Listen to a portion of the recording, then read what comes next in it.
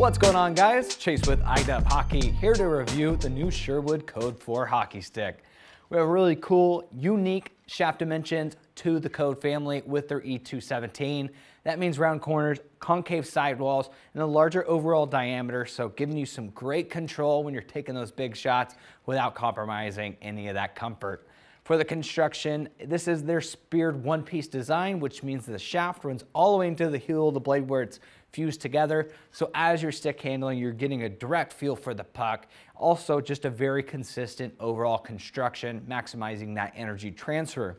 We've got a ProSpec 12K carbon fiber. That's the small checker that you see all the way shining throughout the graphics here. Uh, like I mentioned, a lot of pros commonly request the spec. It's a very durable, very, very powerful type of a carbon fiber. Just again, meaning it's very efficient at transferring that energy. So every ounce of power you're putting into it, you're getting vast majority of it out. As far as the kick point goes, very exciting with their new target lock taper. So an elongated taper, uh, very, very unique and unlike anything else on the market. It really helps to bridge the gap between a quick releasing low kick point stick and a really powerful high kick stick. So really ideal for players that find themselves in a situation where they need to do both.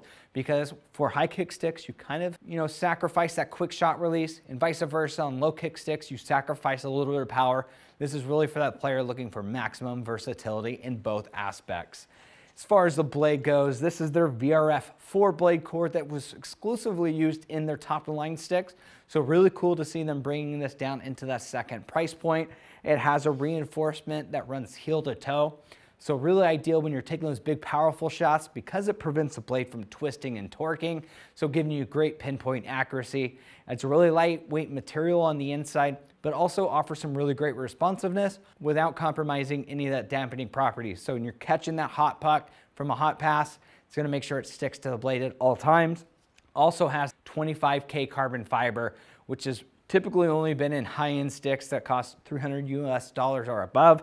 Really cool to see them bringing this here because it does a great job of reducing weight in the lower portion, giving you a really great balance feel in the hands, but it's also very strong and durable too. As far as the weight goes, very impressive at 420 grams with this hybrid kick point. Just a few years ago, this would have been one of the you know lightest sticks on the market. It's a second price point stick, offering some incredible versatility with that new target lock taper.